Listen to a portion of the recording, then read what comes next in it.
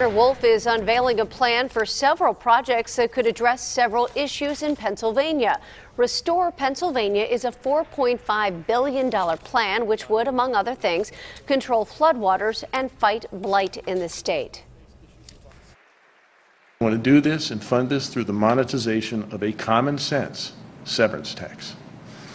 Restore Pennsylvania will help catapult Pennsylvania ahead of every state in the country in terms of technology, development, and infrastructure. This, The legislature still has to approve the plan.